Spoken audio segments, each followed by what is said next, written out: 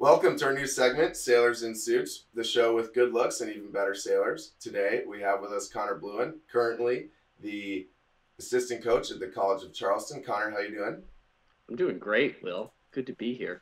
So Conner's a highly decorated sailor. Right away, I want to hear about the pennies hanging up behind you. so, uh, I mean, I've had a long, fortunate sailing career. Um, the last, uh, you know, after leaving college, I knew I wanted to continue with sailing. Didn't know exactly what. I felt like, from a financial standpoint, and uh, and for you know a bunch of other reasons having a, a different career and wanting to you know make money in the world i felt like olympic sailing might have gone past me so um, I, I, do a lot of different sailing but um, one of the ways that you know i started sailing radials because um, it was something i fit into and i just knew that i always wanted to have a career sailing and uh, eventually i saw an opportunity to do the pan american games in the sunfish um, I ended up qualifying in, you know, I had had a little hiatus from sailing. You know, as you leave college, you have to find a career, and I bounced around. Right. Sorry. Oh, I said, yeah, you have to find a job. Yeah, you got to find a job, and it's it's not always as easy, and you know, parents don't always, you know, fund you and all that stuff. They'll take care of you, but they're not going to pay hundreds of thousands of dollars for you to go do Olympic stuff. So I had to kind of find my own way here a little bit. And uh, I found an opportunity in the Sunfish, which I had sailed on and off when I was a youth sailor. And uh, I decided to really go for it and qualified 2015, did Toronto with Team USA. Um, I broke my wrist right before the event, so I, I really didn't get to prepare the way I had wanted to. Um, I had just finished third at the Worlds and felt like I had a good chance at a medal.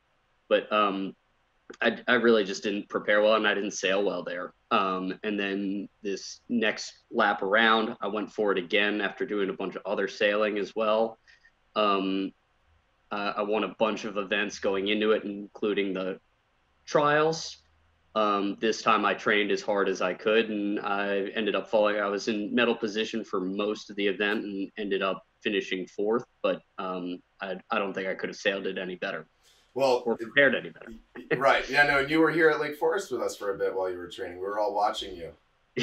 We're all rooting for you. Yeah, that's right. Yeah. That's right. So, Conner, um, you are living the college sailing uh, spring season being canceled. Yes. Talk, talk to me about that. How are your sailors doing? How it, how are you doing? But you know, I'm more interested in how your seniors are doing.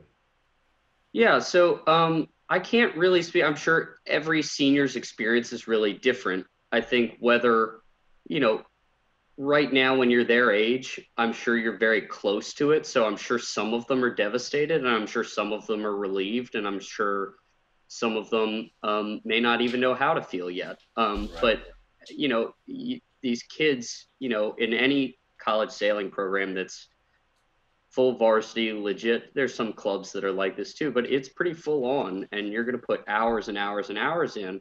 So sometimes it's like just feels like kind of big deep breath that you don't have to do it anymore. Uh, right. I'm sure for some of them on some level, and I'm sure some of them were really you know looking forward to the competition. But I can almost guarantee that you know in a year they will miss it and they will be upset yeah. that they didn't get this. so even if they don't feel that way now, I'm sure some, I'm sure most of them do. But even the ones that I'm sure don't know how to feel right now, or might be a little bit relieved that they don't have to sail nine hours.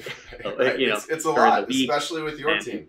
You know, do all those workouts and finally get a break to be true college kids for a little bit, even though they're not really in school.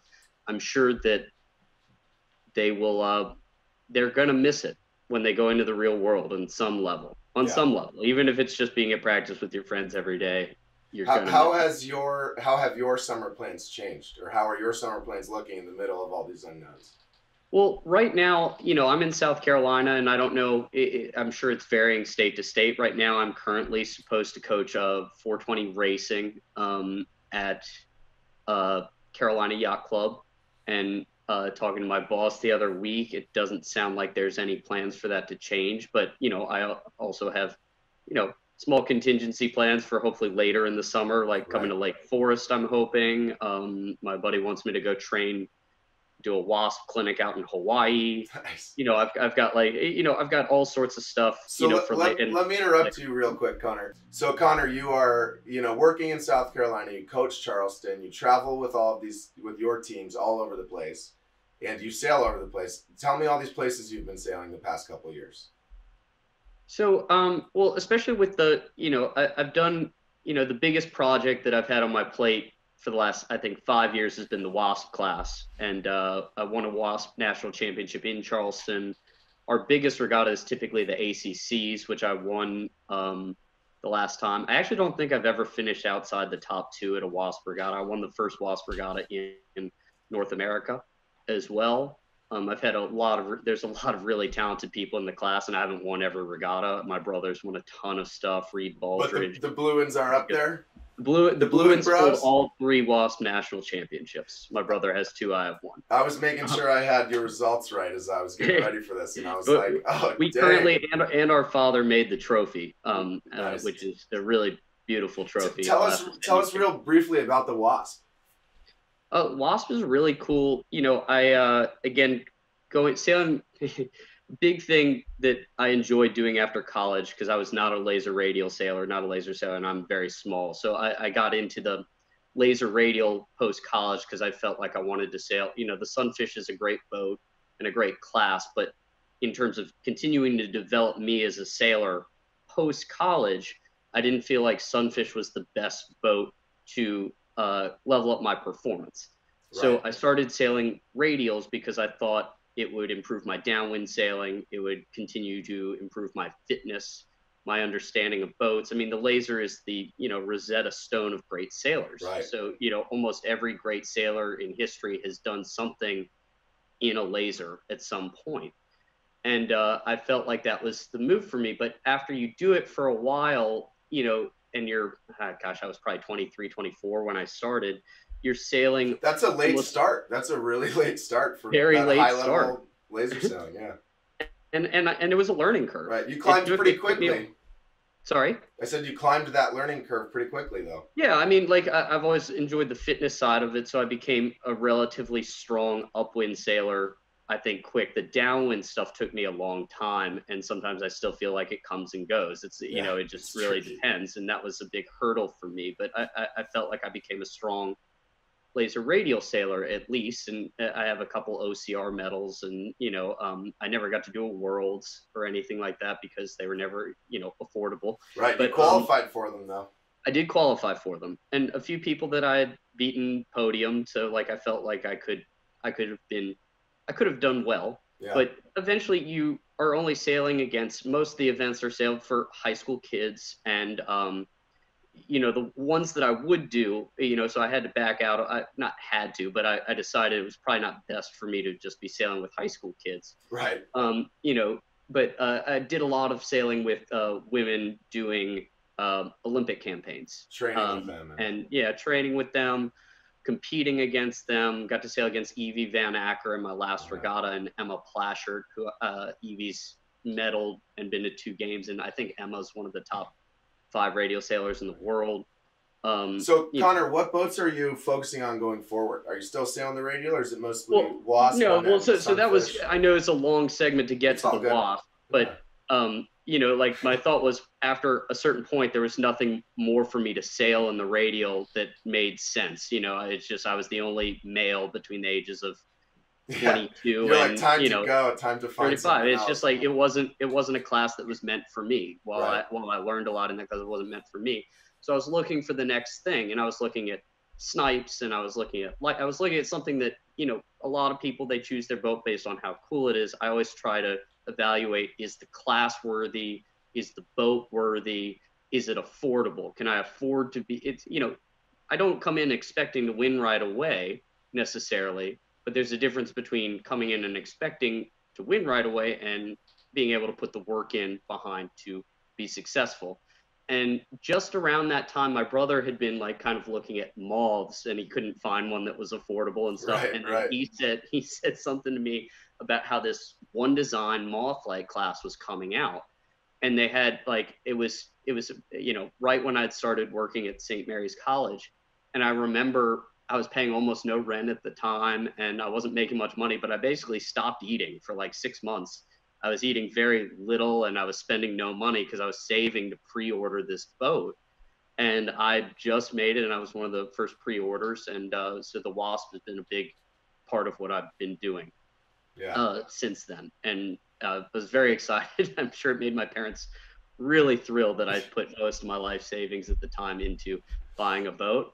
But um, I've haven't regretted it one day since. So Well, we'll we'll insert some video up here of you ripping around on the Waszp so that everyone sure. can, can really see what you're talking about. So, Conner, we're gonna tear into our uh, our kind of premiere segment here in Sailors and right. Suits. Rapid fire questions. So you and I are quite possibly the worst duo to be doing rapid fire questions together because we both We're- like to talk. we're the greatest duo ever. We're the greatest duo ever. period. So, Conner, don't think too much, man, and just re- respond right away. And All if right. you have something you really want to say, just make it a run-on sentence. That's totally fine. All right. Love it. First, cats or dogs? Cats. All right. Why? Uh, we've always had cats growing up. I love dogs, but dogs are a lot of work. All right, that's cats fair. easy. Uh, workout song right now. Workout song. Oh, I had one too. Um, Ain't No Love Ain't by no Jay love by Jay Z. I'll have to check that out. All right, next one. How many crunches have you done so far today? Zero today. I did uh I did a hiking bench for an hour yesterday with uh, 100 sit-ups at the end. How do you split And, that and up? if you'll remember when I was there, I was doing a thousand sit-ups. I know you were preparing for for Peru. for real. That's why I asked. All right, if uh, what would your last meal be? eggs. Eggs. Yeah, I remember that about you too. Um. If you had to retire today, what would you do tomorrow? Uh, Call of Duty Pro. nice. Yeah. That's a, you're probably getting Call of good, Duty Pro. good at that right now. I'm good at that. Uh, good hair day, bad hair day. I don't have hair. Do you see, do you see the picture? I knew this was coming. That's Yeah. the worst worst picture I've ever seen in my life. Who is that guy? Don't know. Don't know? recall. All right, if you had to go anywhere for a month just to sail and hang out, where would you go? Uh, just to sail and hang out. Uh, Tampa, Florida, where I grew up. That's where you're from, right? Yeah, where you grew Yeah. up. Um, who's your favorite sailor? Steve or Will? Steve Luke or Will Kirk? Oh, Steve. Steve. no is it- doubt. It was that easy for you? It was that easy. Oh. You told me not to think too much. Yeah, that's true. All I love Will, but Steve is the man. Sailing legend. Uh, I really love Robert Scheidt. Um, but I, I've uh, I, I listened to a podcast with Iain, Iain Percy recently, and uh, I think Iain Percy is pretty amazing as well. Yeah, Iain's been sailing a lot of boats and doing really well. Yeah, really impressive. Robert Scheidt's, the the laser and star guy. Yeah. Um, yeah, but Iain Percy also has beaten him in several star and Finn things. So Yeah. they're they're both amazing. They're both good. All right, who's your favorite, or what's your favorite regatta to sail each year? Uh, probably Waszp ACCs or Sunfish Midwinters. If I if I get to do them, Hardest, hardest thing about being a college sailing coach? Uh, the travel, travel is a lot. Um, and you know, you you spend a lot of time with uh your friends are going to do fun things and get to live their lives a little bit more. Um, while while what I do is very rewarding, I I do think the travel is very it's very hard on coaches. Yeah. Best thing. What's the best thing? Best thing, um, I get to talk about sailing all day, Nice. and It's I love sailing. Not so bad, right? yeah. So, youth sailing and coaches and sailing directors and summer instructors, what are we missing? What can we do better that you're seeing in these college sailors? What are they missing when they come to you? Yeah, I think um, you know, I'm sure this will be a very controversial take. Um, but you know, I think the best the people who find the biggest success in the sailing world, uh, in the sailing world in particular, and, and I'm mostly talking about drivers because I've seen crews overcome this at a greater rate. But when people exclusively, I want to be very carefully word this, No exclusively do high school sailing.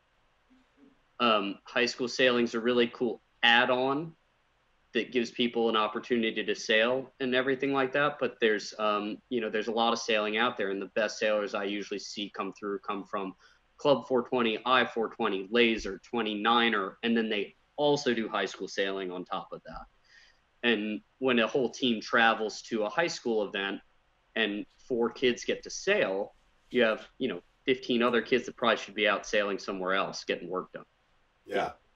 Um, that that that's just my take. You know, No, there's there's a a lot of people will tell me I'm crazy. It's all good. That makes a lot of sense to me, you know. All right, Conner. So that's an interesting thought about high school sailors and you know what you're seeing as a college coach, getting them sailing more than just their high school programming, experience different boats, different tuning, everything like that. So all these kids around the country and around the world, all these youth sailors are stuck at home right now in quarantine. You know, what do you have for them? What can they be working on right now? Are they missing that much by by the time on the water? If everybody is, where are people going to get advantages and gains on their competitors while stuck at home?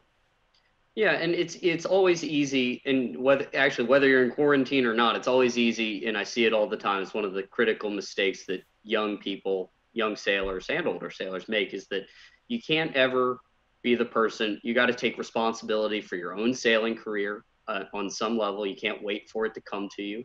Um, right now, you can't forget. You know, one of the big things you can't forget that sailing's a sport, and you have no excuse not to come out of quarantine in the best shape of your life. That's a really that's a really good way Yeah. to be focused right now. That's very easy. Um, if you can get on the water, obviously that's good. But like, it's very easy to crawl into a hole and go, "Woe is me, this is tough." But like, there's so many laser sailors who could be doing planks and wall sits every day. Um, make a hiking bench, get better at it. Um, you know, there's so much about sailing on YouTube, and there's uh, really interesting interviews and podcasts. And there's so many ways you can call up your buddy and uh, run some questions by them. Call up your coach, ask things to them. Um, you know, I've been sailing plenty since quarantine. Um, you know, myself, because I don't get to sail that much now. So I, I've been putting in my time now. But Yeah, you're, you- you're you finding you're no- finding the opportunities in it.